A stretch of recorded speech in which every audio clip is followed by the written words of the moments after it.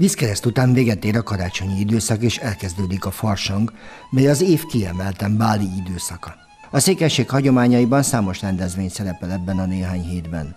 Illés Tibor, a Bukovinei Székelyek Országos Szövetségének elnöke arról mesélt, a farsangot megelőző karácsonyi időszak történéseinek hatása van a farsangra. Karácsony környékén a lányokat meg énekelték, ami tulajdonképpen ugye hát a, azok a fiúk közül, akik tulajdonképpen már kezdtek udvarolgatni, azokhoz a lányokhoz mentek nagy részt, ugye megvendégel, behívták őket egy pohár pálinkára, és hát ugye annak a lánynak illet elmenni az ingyen bálba, ahol tulajdonképpen egyfajta pénzgyűjtés is volt, úgymond, készülve a, a, a farsangi időszakra, és, egy, és hát ugye volt egy kis hordocska, bálerkának nevezték, amiben tulajdonképpen már a pálinkát is gyűjtögették. A maga a farsang általában bálokkal, kisebb rendezvényekkel telt el.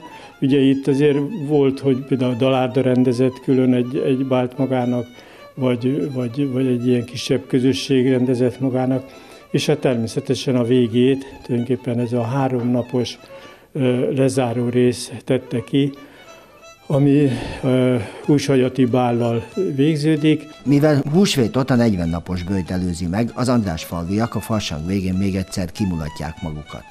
Húshagyatkor három nap három éjjel táncolnak, búcsúztatják a farsangot, a végnapokat. A húshagyati bál húshagyó vasárnap ebéd után elkezdődött, és húshagyó kedden éjfélkor a megszólaló harang vetett véget a mulatozásnak. A húshagyati táncot a legények előjárói az általuk kibérelt házban rendezik meg. A faluban külön az alszegieknek, külön a felszegieknek is bál csináltak a legények. Az alszegi nem mehetett a felszegi táncába, a felszegi leán sem az alszegi táncába, mert ha mégis elment, akkor lehamuzták, hamut szóltak a rokolyájára.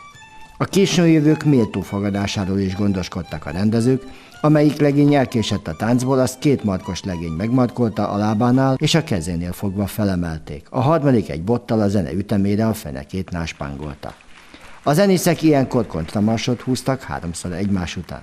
A többiek a botozás ideje alatt kulcsban énekelték a kontramarsot. Amikor összegyűltek a vendégek, elkezdődött az igazi húshagyati tánc. Olvasható Sebestyén Ádám a Bukovinei Székelység tegnap és ma című művében.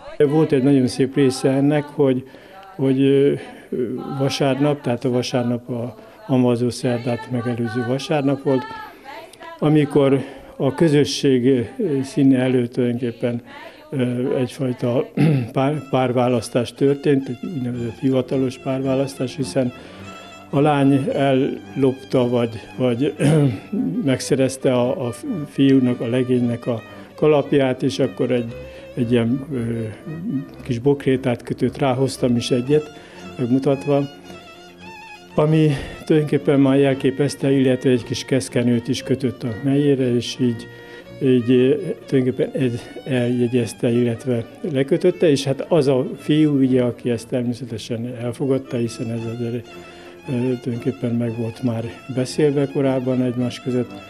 Az már hivatalos volt a, a hétfői ebédre, tehát a fiú az elment a lány szüleihez, és ott már ebédet kapott, illetve fordítva a következő nap, tehát kedden viszont a lány mehetett el, és így a szülők szempontjából is, tehát nyilván is a közösség szempontjából is kinyilatkoztatták az ő kapcsolatukat. Itt tényleg egy, egy háromnapos intenzív táncolásba ment át, ami éjfélkor ugye a bíró megjelent, és megkopogtatva az ajtó félfát, ezzel a harang is megszólalt, és tulajdonképpen így befejeződött a, a bál.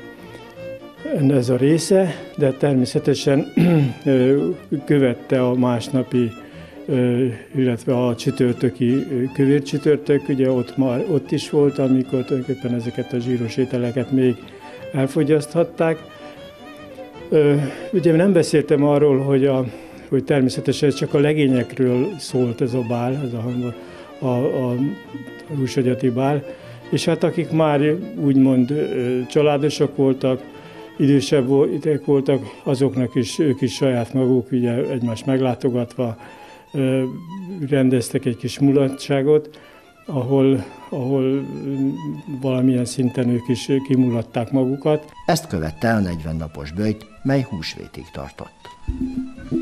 Nagyon betartották a, nagyon betartották a, a bőti időszakot, és hát ugye ez a, a, a végig kísérte, ha azt veszük a bukovina életek, illetve élettörténetünket, hiszen sokszor gondolok bele, hogyha akkor ezt a kemény időszakot, ugye ami most számunkra kemény időszak, ez a bőjt, ugye nem így ilyen erősen kitartva, akkor vajon a menekülést hogy bírtuk volna ki, tehát érdekes módon azért hozzászoktatták magukat az egyfajta önfegyelemmel, másik az tényleg, hogy a hagyomány azért, azért nagyon a vallásosság mentén ugye folytatódott.